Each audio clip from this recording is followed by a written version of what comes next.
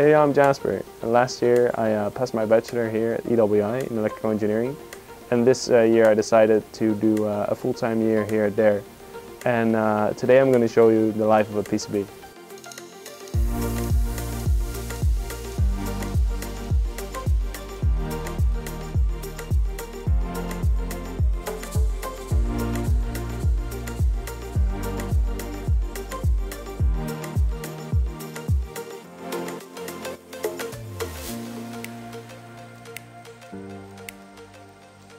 Thank you.